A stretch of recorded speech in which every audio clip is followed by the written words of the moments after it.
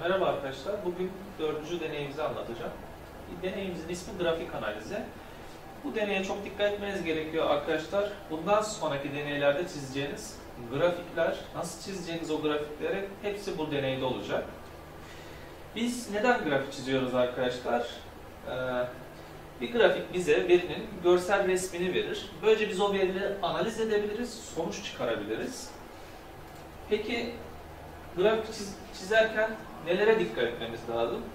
Birincisi, grafiğin üst ve alt kısmına grafiğin ismi yazılmalıdır. Üst veya alt kısmına fark etmiyor hangisi olduğu. Tavsiyem üst olur. Burada örnek olarak konum zaman grafiği şeklinde ismini vermiş. Bir kişinin ya da çalışma arkadaşlarının ismi kesinlikle ve deneyin tarihi kesinlikle yazılmalıdır arkadaşlar. İsim ve deneyin tarihi yazılır.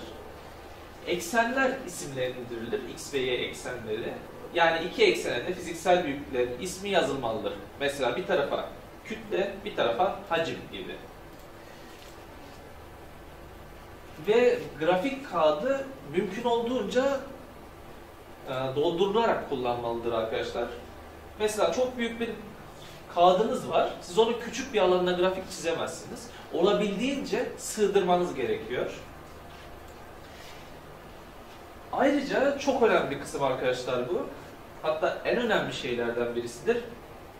Her iki eksene de veri de, veri değerleri yazılmaz. Yani ben mesela veri almaya başladım. Ne diye aldım? Şöyle diyelim. 4.2 5.3 ne bileyim 3.5 tarzı. Tabi bunlar neler olacak? X'i ve Y'si olacak ya şöyle diyelim. 5.3 metre bölü saniye. Ben bu 5.3'ü yazamam arkadaşlar. Ne yazmam lazım? Ben ilk önce yazmam gereken şey bu normal veriyi, aldığım veriyi yapamam. Ama bir ölçek belirlendiririm. Ölçeğe göre yaparım grafiği. Bu ne demek? Benim grafiğim şöyle gidebilir. 1, 2, 3, 4, 5 ya da 3, 6, 9, 12 değerleri. Bunu devamında göreceğiz zaten. Yani deneyden aldığınız verileri değil, kendi yaptığınız sıralamalı giden ölçeklendirmeyi yazabilirsiniz. Bunu unutmayın. Ölçeklendirmenin de nasıl yapıldığını ayrıca anlatacağız. O en önemli kısımlardan birisidir arkadaşlar. Özellikle dikkat edin ona. Aynı zamanda her verinin hata bariyerleri grafik kağıdına yerleştirilir arkadaşlar. Bunu da devamında göreceğiz. Artıyla gösteririz. Bu artının zaten bir çizgisi y eksenine bir çizgisi x eksenindeki hatayı gösterir.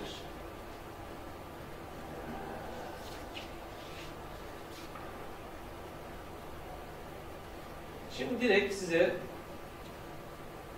şöyle grafiğin üstünden görmek belki daha iyi olacaktır arkadaşlar. Grafiğimizin eğimi nasıl bulunur? Şimdi burada en iyi ve en kötü eğim demişiz arkadaşlar. Biz devamında sadece en iyi doğruyu kullanacağız arkadaşlar. En iyi ve en kötüyü sadece bu deneyde çizmeniz yeterlidir.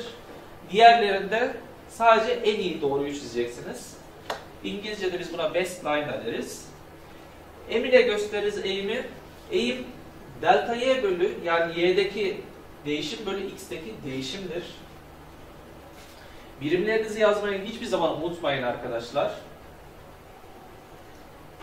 Üniversitede en çok dikkat ettiğiniz şeylerden birisi birimlerdir. Birim yoksa hiçbir değeri yoktur arkadaşlar yaptığınız şeyin. Puan alamazsınız. Sadece sayı yazıyorsanız puan alamazsınız. Sadece sayı yazabileceğiniz tek şey birimsiz şeylerdir arkadaşlar. Birimlere her zaman dikkat edin. Burada peki bunun nasıl yapıldığını göstereceğim grafiği. Ancak ilk önce şuna bakalım. Böyle bir grafik elde etmişiz. Bunda en iyi doğruyu şöyle elde ediyoruz arkadaşlar. Hatta ilk önce en kötüden başlayıp sonra en iyi yapayım. Şimdi biz bu hata bariyerlerini artı şeklinde gösterdiğimizi bunları çıkardığımızda en kötü şudur. Yani kırmızıyla gösterdiğimiz bir tane artının ki genelde bu en alttaki artıdır.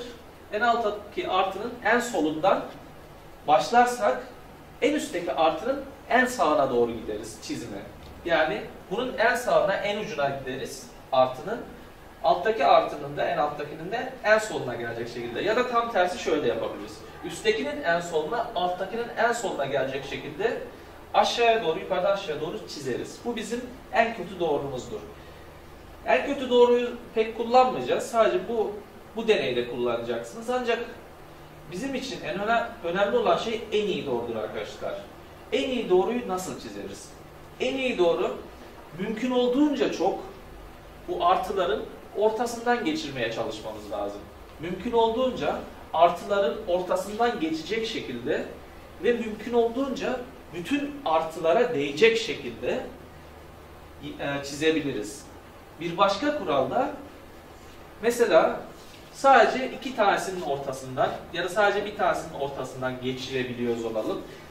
Şartlar el, el vermiyordur. Hepsinin ortasından geçiremeyiz zaten. O imkansız. Yani çok muazzam güzellikte veri almanız lazım ve o da çok zor. Hepsinin ortasından geçiremeyiz. Mesela 10 tane veri var. Bunların 3 tanesinin ortasından geçiyor. Geriye kaldı 7 tane veri. Onlara nasıl yapacağız? Şöyle denk getirmeye çalışmamız lazım. Bu çizginin yani en iyi çizginin altında ve üstünde kalan veri sayıları mümkün olduğunca eşit ya da eşite yakın olmalı. Mesela 3 tane noktadan geçti. Artıların 3'ünün ortasından geçti. Geriye ne kalmıştı? 7 veri değil mi? Yani bunu 2'ye bölseniz 3,5. Buna ne diyelim? 3'e 4 diyelim. Yani 3 veri aşağıda, 3 veri yukarıda kalabilir. Ama şu kötüdür mesela. 2 veri yukarıda, 5 veri aşağıda olursa bu kötü çizdiğinizi gösterir. Mümkün olduğunca aşağıdaki ve yukarıdaki kalan artıların birbirine eşit ya da eşite yakın olması lazım. Mesela yine şöyle örnek verelim. 8 tane veri aldınız. 4 tanesinin ortasından geçirebiliyorsunuz. 4 tanesini geçiremiyorsunuz. Yine artıların bir ucuna değmesi lazım. Ancak altta ve üstte kalanların da eşit olması lazım yaklaşık olarak. O zaman ne yapabiliriz? 2 tane artı yukarıda, 2 tane artı aşağıda kalacak şekilde. Yani aşağı ve yukarı dediğim şey ne? Orta noktası var ya, orta noktası aşağıda ya da yukarıda kalacak şekilde. 2 aşağıda, 2 yukarıda ve 4 tanesinin de ortasından geçebilir. Ya da 2 tanesinin ortasından geçer, 3 tane aşağıda, 3 tane yukarıda kalabilir. Orta noktalarını kastediyorum yine. Çizginin çizgiye göre orta noktaları aşağıda ve yukarıda kalabilir. Ama çizginin dışında çok istisnai durumlar dışında kalmaması lazım arkadaşlar. Yani bir tane veriniz ta buradaysa, pardon yani buradaysa eğer bu olabilir. Mecburisinizdir. Onu mecburen dışarıda bırakıyorsunuz. Tabii şöyle bir şey de olabilir. Bir tane burada, bir tane şurada da olabilir. Tabii kötü veri aldığınızı da gösterir aynı zamanda. Çok nadir durumlar hariç bunları yapmayız arkadaşlar. Mümkün olduğunca hepsinin artısına değmesi lazım. Peki biz bu grafiğin adımlarına bakalım. Sırayla nasıl yapacağız?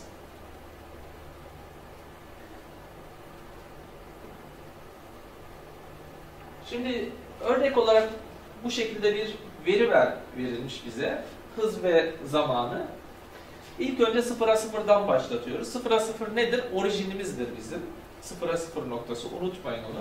X, eksenimizin orijinidir. Hızımızın bu şekilde arttığını vermiş. Yani 4 artı eksi 1, 9 artı eksi 2, 16 artı eksi 2, 22 artı eksi 3. Dikkat edin artı eksiden sonrakiler bizim hata paylarımız. Aynı şekilde zaman da verilmiş. 2.0 saniye artı eksi 0.5, 4.0 saniye artı eksi 0.5. Tabi birimlerini unutmayalım arkadaşlar. Hızımız metre bölü saniye, zaman saniye. Bunu kullanacağız daha sonra. Şimdi adımlarımız ne olacak da bizim? Biz çizmeye başlıyoruz. İlk önce arkadaşlar eksenimizi oluşturduk. X ve Y eksenimizi, çizgilerimizi çizdik. Neyi yazıyoruz bu çizgileri çizdikten sonra? Y eksenimize ne dedik? Hız. Parantez içinde metre bölü saniye. Eğer hızsa, ivme olsaydı ne olacaktı? İvme diyecektik. Parantez içinde metre bölü saniye kare yazacaktık. Zaman. Yazmışız altta x eksenine. Parantez içinde ne var? S. Yani saniye. Bunu yazdıktan sonra ne yapmışız? Bakın. Bunu yazdık. Ölçeklendirme. Az önce demiştim ya. Mesela 5.3 ne bileyim 4.2 gibi değerler ya da yukarıdaki değerler. Bakın. Biz bu sizin aldığınız veri değeri. Bu grafiğe yazılmaz arkadaşlar. Siz bir ölçeklendirme yaparsınız. O ölçeklendirmede elde ettiğiniz veriler nereye denk geliyor? Oran orantı yaparak onları bulursunuz. Şimdi bakın burada bir ölçeklendirme yapılmış. Ölçeklendirme sade şekilde yapılır. Altta zaman kısmında 1, 2, 3, 4, 5, 6, 7, 8, 9, 10 diye gitmiş. Alt x kısmında. Y ekseni kısmında ise hız kısmı yani yine sıfırdan başlıyor. 2, 4, 6, 8, 10 diye gitmiş. Yani sıralı sayılar şeklinde gidiyor. Dikkat edin. Daha sonra neyi ekliyoruz? Veri noktalarımız arkadaşlar. Bizim yukarıda verdiğimiz veriler bu ölçeklendirmede nereye denk geliyor? Şimdi ilk verimize bir bakalım. İlk verimiz. Bakın artı eksiği karıştırmıyorum. İlk önce ne? Ana kısmı var. Yani 4'e 2 değil mi? 4'e 2 nereye geliyor? 4'e 2 bu ölçeklendirmede kolayca yeri bulunabiliyor. 4'e 2'nin yeri burası. O artı eksi kısımlar var ya, artı eksi kısımlar bakın burada yeşille gösterilen kısım, artıyla göstermişiz. O kısımlar arkadaşlar. Peki bu verileri ilk önce bir üçüncü kısımda yerleştirelim. Diğeri ne? Diğeri de kolay. Virgüllü bir kısım yok. Tamam bunları yerleştirmiş. Verileri oran orantı yaparak nereye denk geldiğini, x eksenindeki veri nereye denk geliyor, y'deki nereye denk geliyor, kesiştiği yere nokta koyduk. Yine y ekseninde, x ekseninde nereye geliyor, kesiştiği nokta, yere nokta koyduk. Bundan sonra biz hata barlarımızı oluşturmamız lazım. Yani artıları. Artıları nasıl oluşturuyoruz? İlkine bakalım arkadaşlar. Hız kısmı için artı eksi 1. Zaman kısmı için artı eksi 0.5. Tabi birincisi metre bölü saniye, ikincisi saniye. Şu an sayısal kısmıyla iş yapıyoruz tabi. Şimdi 1'e 0.5. Dikkat edin arkadaşlar. Burası 4, burası 6 değil mi? Bizden ne istiyor? 1. Bu ölçeklendirme bu ölçeklendirmede birimiz buraya karşılık geliyor. Dikkat edin. Bir birim uzatmış. Yani 4 ile 6'nın ortasında ne var? 5. Yukarıya 1 gitmiş. Çubuğu yukarıya giderken noktadan bir yukarı uzatmış. Bir de aşağıya indirmiş. Artı diyoruz ya artı yukarıya bir, eksi aşağıya bir. Şimdi y eksenindeki artı eksiği yaptık. Y ekseninde dediğim şey yine dönüp bakıyorum. Hız kısmını yaptık arkadaşlar. Artı eksi bir y ekseninde olduğu için ilk önce y eksenindeki çizgileri çektik. Bir yukarı bir aşağı olacak şekilde. Şimdi zamandaki artı eksi. Zaman ne? X ekseninde. 0,5 sağa 0,5 sola olacak. Yani artı ve eksi olarak. Şimdi bakalım. 2 ve 3 var. 2 ve 3'ün tam ortasına olacak 2,5 değil mi arkadaşlar? Yani 0,5 gitmiş. 2'den 2,5'a ne var? 0,5. 0,5 buraya sağ, 0,5 sol olacak şekilde hata barını koymuş. Diğer verilerde aynı şekilde yapılmış arkadaşlar. Dikkat ederseniz hatalarımız artmış. Yani kullandığımız artı işareti büyümüş. Neden büyümüş olabilir? Bakıyoruz hata paylarımız artmış arkadaşlar. Aslında o artının büyüklüğü, küçüklüğü hata payının büyüklüğünü, küçüklüğünü de gösteriyor. Şimdi yukarıda verdiği verilere göre, hız ve zaman verilerine göre şu şekilde bir grafik çizilmiş arkadaşlar. Bu grafiği inceleyin. Her zaman kafanız karıştığında dönüp bir, bu grafiğe bir bakın. Bu grafik oranın büyütülmüş hali bir üsttekinin çizilmiş hali. Burada siz grafiklerde çokça eğim alacaksınız. Neden eğim alacaksınız? Bu grafiğin eğimi size neyi verir? Bakın hız var, zaman var. Eğim neyi verir? Hız bölü zaman size ivmeyi verir arkadaşlar. Unutmayın birim olarak ivmeyi verir. Demek ki biz buradan aslında ivme bulacağız. Burada gördüğünüz gibi. Burada nasıl yapıldığı gösteriyor. Okuyabildiğiniz iki değer seçeceksiniz arkadaşlar. Bundan sonra zaten kırmızıdan seçmenize gerek yok. Yani bir tane en iyi doğrusu yapacağınız için maviden bir tane seçeceksiniz. Okuyabildiğiniz değer şudur arkadaşlar. Bu çizgiyi çizdiniz ya. Burada hangi değere tam geliyor? Mesela şuralardaki değerde tam görünmüyor. Yani şu çizgilerin tam kesiştiği yerler var ya. Bu en iyi doğrumuz o çizgilerin tam kesiştiği noktalardan nereden geçiyor? Onlara bakacağız. Burada okuyabildiği iki değer seçilmiş. O iki değere göre, okuyabildiği iki değere göre bir üçgen oluşturulmuş. O zaman üçgenin eğimini bulacağız. Bunu nasıl yapacağız? Buradaki uzunluğun bizim verimizdeki karşılığı ne? Buradaki uzunluğumuza y1 diyelim. Şuradaki uzunluğumuzda da x1 diyelim. y1 buradaki ölçekte bir değeri var. Ancak buradaki ölçek gibi her zaman mükemmel olmayacak her şey. Sizin verinizdeki karşılığı ne o değerin? Mesela ben burada kaç bulabilirim? Burası kaç olsun?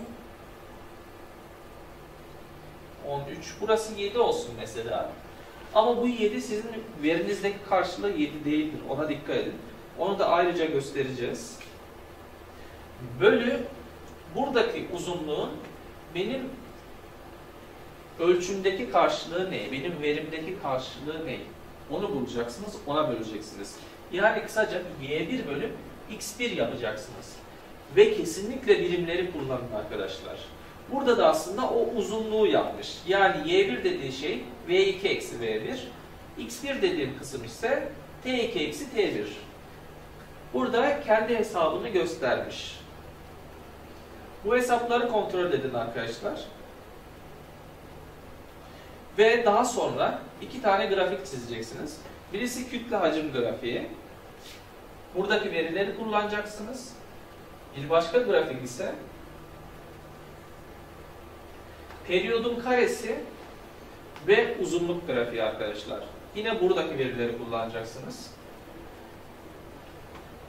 Evet arkadaşlar bu deneyimiz de bu kadardı. Bir sonraki deneyimizde görüşmek üzere. Evet arkadaşlar bu videoda deneyde çokça kullanacağımız, size çokça lazım olacak olan ölçeklendirmeyi göstereceğim. Normalde bizim deneylerde, gerçek deneylerde aldığımız veriler düzgün sayılar değildir. Onun için ölçeklendirmeye ihtiyaç duyarız. Bunun örneğini göstereyim bir tane. Şu şekilde sıralı sayılar yazdım. Soldaki kesimdeki sayılar yani 0,5, 1.8, 3, 8, 14 şeklinde gidenler metre bölü saniye olsun. Hızımızı versin. Şöyle V diyelim. Bunlar metre bölü saniye cinsinden. Soldaki de saniye cinsinden olsun. T diyelim. Saniye cinsinden. Şuraya da V metre bölü saniyeye T saniye yazalım. Şimdi biz bunları grafiğe nasıl yerleştireceğiz arkadaşlar? Şimdi 14 sayısını ben nereye nasıl yerleştirebilirim? Bir yere rakam vermem lazım. Şuradaki küçük karelere dikkat edin arkadaşlar. Bunlar hep ona pardon büyük karelere hepsi onar küçük kareden oluşuyor. Yukarıya doğru gittiğimizde kaç tane olacak? 1, 2, 3, 4, 5, 6, 7, 8 tane büyük karem var. Altta da 3, 6, 7, 8 tane var. Şimdi alttaki alttaki için problem yok çünkü saniyelerim sıralı verilmiş. Yani 0, 1'i nereye yerleştireceğim? 1'e. 1, 2, 3, 4, 5 diye yazdım. Bunu 0, 1, 0, 2, 0, 3, 0, 4, 0, 5 de yazabiliriz. Ancak ölçeklendirmenin mantığını anlamanız açısından 1, 2, 3, 4, 5 yazdım. Yani 10 kat büyütüp yerleştirdim. Peki hızı nasıl yerleştireceğim? Yerleştirmek için her bir birime, şimdi burada 14'e kadar gitmiş sayının büyüklüğü. O zaman her bir birim veriye ne kadar kare düşüyor ya da ne kadar kareye 1 demem lazım. Şimdi ben bir şeye 14 diyorum ancak bir şeye 8, 3 diyeceğim. Peki ben 1'e ya da kaç kareye 1 diyeceğim. Önemli olan bunu bulmak. Bunun için şöyle bir taktik verebilirim. Şimdi yukarıya doğru 1, 2, 3, 4, 5, 6, 7, 8 tane büyük kare. Kaç tane küçük kare yapar arkadaşlar bu? 8 çarpı 10'dan eşittir. 80 tane küçük karemiz var. Şimdi ben 14'ü yerleştireceğim. İlk başta büyük sayıyı yerleştirerek başlayın ölçeklendirmede. İşin taktiği odur. Şöyle yaparak bir şeyler elde edebilirim. 80 bölü 14 diyelim. Ortalama olarak sanırım 5.6, 5.7 gibi bir şey yapıyor. 5.6 diyelim. Bizim şu kısım önemli değil virgülden sonraki. Biz şu ana sayıya bakıyoruz. O zaman yaklaşık olarak 5 diyebilirim. Yani her bir değere, benim verimdeki şöyle göstereyim. Her bir değere 5 küçük kare karşılık geliyor demektir bu. Yani ben 14'ü yerleştirmek istersem 14 çarpı 5 ne yapar? 70 küçük kare yapar. Şimdi ilkini yerleştiriyoruz. Ölçeklendirmede ilkinin yerini bulduk. Şöyle çizgimizi çektik. Ben buraya kaçı yerleştireceğim? 14'ü yerleştireceğim. Ancak dikkat edin. Verilerimizi pardon grafikteki değerleri yazarken veri değerleri yazılmaz arkadaşlar. Verilerin olduğu yer sadece nokta ile gösterilir kesişim yerleri x ve y'nin. Şimdi onun için ben şu şekilde yapacağım. Buraya 10 diyeceğim. Şuraya 20. Bunu, iki, bunu 1, 2, 3 de yapabilirsiniz. 30.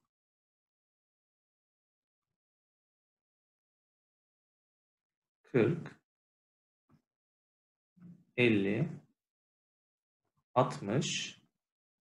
70'e kadar götürdüm. Zaten 70'in kime karşılık geldiğini biliyorum. Bununla uyumlu olsun diye ayarladık. Şimdi ilk verimizi nokta olarak yerleştirelim. Dikkat edin artı eksisini yazmadım hata barların. Hata barlarının mantığı da aynı şekilde yapılıyor. Şimdi 5. 0,5. saniyede 0,5. saniyede 14 yani şu kısım. Bizim grafiğimizde 70 küçük kareye denk geliyordu. Bunu yerleştirdim. Bunun hata barlarının da aynı şekilde hesaplanıyor. Onu koymuyorum. Şimdi sonuncusunu yerleştirmiştik. Sondan başa doğru gidelim. 8'i yerleştireceğim. Dikkat edin tekrar hatırlatıyorum. Ölçeklendirmeyi yaptım. 70 küçük kareye denk geliyordu. Birden 7'ye kadar da yapabilirsiniz. Ya da şöyle de yapabilirsiniz. 2, 4, 6, 8 deyip yukarıda da bitirebilirsiniz. O size kalmış. 8'i yerleştirelim. Şimdi ben biliyorum ki 14 değeri normalde 70 küçük kareye karşılık geliyordu. Bunu biraz daha sadeleştirelim. Bu ne demektir aslında? Bir değeri yani benim gerçekteki ölçüm yaptığım bir değeri 5 küçük kareye karşılık geliyordur. Aslında sadeleştirme yaptım. 70 bölü 14. Şimdi oran orantı yapacağım. O zaman 8, şimdi 8'i bulmaya çalışıyorum nerede? Kaça karşılık gelir? A diyelim. A nedir? Eşittir. Oran orantı çapraz işlem yaptığımızda 8 çarpı 5 küçük kare bölü 1. O da nedir? 40. Aslında direkt 8 ile 5 çarpmak yeterliydi. Direkt bu tarz basit şeylerde oran orantıya bile gerek yok ama karmaşık şeylerde lazım olur diye gösteriyorum. 40 küçük kareye denk geliyormuş. 40 küçük kare ve ne? 0,4 saniye değil mi? Onu da işaretleyelim yerini. Şimdi şurayı silelim. Biraz yer kazanalım.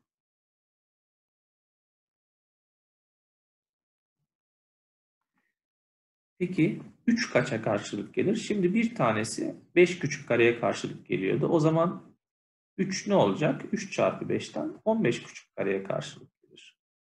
Şimdi 15 ne, nerede? 30 ile 20'nin ortasında bir yerde.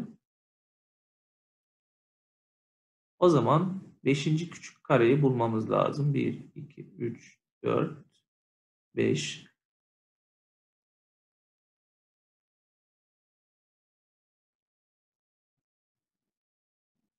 Diğeri nerede? Tabii bu 3. 0 3. saniyeye denk geliyor. Şuraya yerleştirelim. Dikkat edin arkadaşlar. Hiçbir zaman sol tarafa veri değerlerini yazmadık. Alt tarafa da aslında burada alt tarafa yazabilirdik. Çünkü alt taraf zaten sıralı geldiği için yazılabilirdi. Ama özellikle veri değeri yazılmaz. Bunu da yerleştirdik. Şimdi 1.8 lazım. Yine 1.8 ile de 5'i çarpalım. Bu da ne yapar bize? 9 küçük kare yapar. 9 küçük kareyi bulalım ve neye karşılık geliyor? 0,3 saniyeye. O zaman bizim verimiz şuradaymış. Aynı şekilde 0,5'i bulmamız lazım. 0,5 çarpı 5 ne yapar? Eşittir 2,5 küçük kare. Bunu 3 küçük kareye yuvarlayabilirsiniz arkadaşlar. Bu tarz virgüllü şeyler gelecektir, kareler. Bunu yine yuvarlama mantığıyla bir üste yuvarlayabilirsiniz 3 küçük kareye. Ve ne olacak? 0.1 saniye. Dikkat edin bu 1, 2, 3, 4, 5 diye giden aslında 0, 1, 0, 2, 0, 3, 0, 4, 0, 5. Ve siz bunun en iyi doğrusunu çizeceksiniz. Evet arkadaşlar şimdi ölçeklendirmeden sonra elimizde aslında bu şu önünüzde gördüğünüz grafik var. Ancak ben grafikteki hız kısmındaki verileri 10 kat küçülttüm. Bu şekilde olursa nasıl en iyi doğruyu bulabilirsiniz? Onu göstermeye çalışacağım. Çünkü siz en iyi doğru bulmanız gerekecek ve bu kısım önemli. En iyi doğru şu şekilde göstereyim. Belki daha anlaşılır olur. Mesela küçük karelerimizi şöyle büyütelim. En küçük kareler bunlar. Ve çizgimiz şöyle geçsin.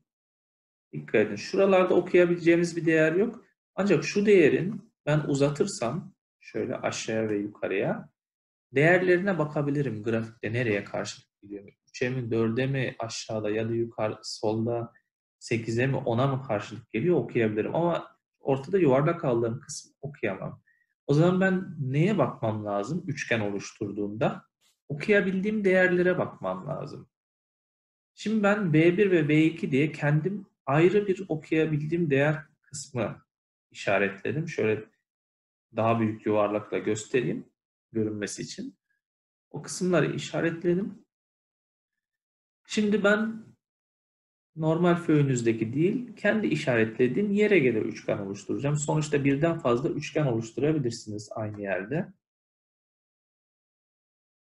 Şimdi bu üçgeni tabii şöyle yapalım. Bizde normalde neydi? Eğim eşittir. Aslında delta V bölü delta T yani V'deki değişim bölü T'deki değişim. Şimdi aslında benim üçgenimdeki şu kısım V2 eksi V1 şu kısım ise T2 eksi T1'e karşılık geliyor. Peki ben V, V2'yi nasıl bulabilirim? Şimdi benim yaptığım ya da benim verdiğim verilerdeki hız da aslında 0.4 gerçekteki yani veriden aldığımız 0.4 grafikte kaça karşılık gelmiş arkadaşlar? 4'e karşılık gelmiş. Şuradan da görebiliyoruz. İkisini de yuvarlak için aldım. Verinin olduğu yer işaretlenmiş. 4'e karşılık geliyor. Onu da yazalım. Grafikteki 4, gerçekteki verideki 0,4'e karşılık geliyor. Zamanda bir sıkıntı yok. Grafikteki zamandaki 1, gerçekteki 1, zamandaki 2, gerçekteki 2. Şimdi 0,4 pardon 4 0,4'e karşılık geliyorsa o zaman benim oluşturduğum üçgendeki veri neye karşılık geliyor? Şimdi benim oluşturduğum yerde dikkat edin burada bu sefer 10 küçük kare değil yani büyük karelere bahsediyorum. Büyük kareler aslında 5 küçük kareden oluşuyor yukarı doğru ve yatay halde. Beşer küçük kareden oluşuyor boy olarak. Peki o zaman benim çizdiğim nokta nereye geliyor? Şöyle, şurada şöyle yapayım. Sanırım daha iyi görünüyor. 1, 2, 3 tane küçük kare var. Onla ondan yukarıya doğru bakarken şu kısımda. Zaten onu biliyorum. 3 tane küçük karede neye karşılık gelir? 0,6'ya karşılık gelir. Yani aslında kareler, küçük kareler 0,2, 0,2 gitmiş. Grafik için konuşuyorum. O zaman benim grafikteki işaretlediğim yer 10.6. Ancak ben ilk önce V2'den başlayayım. Çünkü V2 eksi V1 demiştik. Çok önemli değil ama oradan başlayayım ki daha öncesi, daha sonrasında lazım olacak diğer kısımda. Şimdi 18. Şurası aslında V, V2'nin karşılık geldiği. 18 kaça karşılık gelir? Buna da A diyelim. Oran orantı yaparsak pardon A eşittir çapraz çarpım 18 çarpı 0,4 bölü 4 o da eşittir ne olur? 1,8'e karşılık gelir. Aslında benim V2'm neymiş? eşittir 1,8. Tabi birimimiz ne arkadaşlar? Metre bölü saniye. Birimleri yazmayı hiçbir zaman unutmayın arkadaşlar. Birim yazmazsanız puan alamazsınız. En son hesaplamanın sonunda yazabilirsiniz birimi. Yeter ki elde ettiğiniz sonuçta birim olsun. Aynı şeyi V1 için yapalım. Bunun hesabını yapmıştık. Yine 4'e 0,4 demiştim. Yani grafikteki 4 gerçekteki 0,4'e karşılıktı. Peki V1'in değerini bulalım. V1 neydi? 10,6 demiştik az önce. Kaça karşılık geliyor? B diyelim ona da. B eşittir 10,6 çarpı 0,4 bölü 4. O da eşittir nedir? 1,06 metre bölü saniye. V birimiz de yazalım eşittir. 1,06 metre bölü saniye. Şimdi burayı temizleyelim. Biraz yer açalım.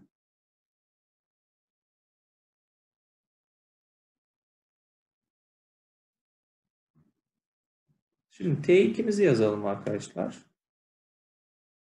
T2'de zaten aynı değer, aynı değerler var. Yani ölçeklendirme ile grafiktekiler, yani veri değeriyle grafiktekiler aynı. Ekstra bir ölçeklendirme yapmaya gerek kalmadı zaman için. T2 değerimiz ne? V2'nin altından takip edersek 2 kare şu şekilde 2 kare sapmış 7'den sola sağa. O zaman nedir? 7.4 olur. Çünkü her bir kare ufak kare 0,2'ye karşılık geliyorsa E2 nedir? 7,4 saniyedir. Peki T1 neye karşılık geliyor? Yine V1'in olduğu kısmından alta doğru gidersek aslında sağa doğru 3 küçük kare 4'ten sonra o da ne olur? T1 eşittir 4,6 3 küçük kare sayıyorsam saniye. Şimdi MI neye eşittir o zaman? Delta V yani V2 eksi V1 bölü T2 eksi T1 o da eşittir 1,8 eksi 1,06 bölü 7,4 eksi 4,6. Birimini en son yazabilirsiniz. O da neye eşit olur? 0,74 bölü alt taraf ne olur? 2,8. Bunu ben hızlıca bir hesaplayayım.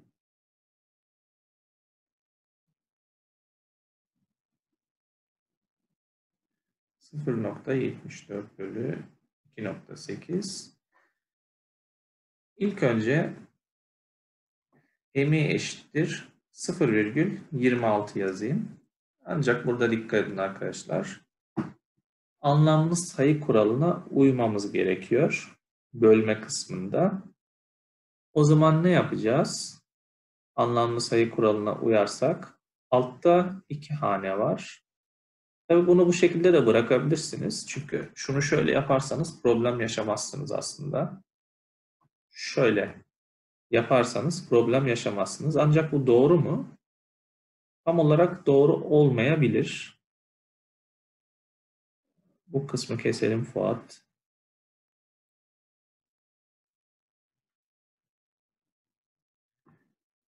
Ve eğimimiz Şimdi yeniden ekliyorum. Birkaç saniye bekliyorum. Başlıyorum. Ve eğimimiz 0,26 ne olacak? Metre bölü saniye kare şeklinde elde ediyoruz arkadaşlar. Temel işlemlerimiz bu kadardı. Grafik analizi için her zaman bu videoya tekrar dönüp bakın ve föyünüzü de incelemeyi unutmayın arkadaşlar.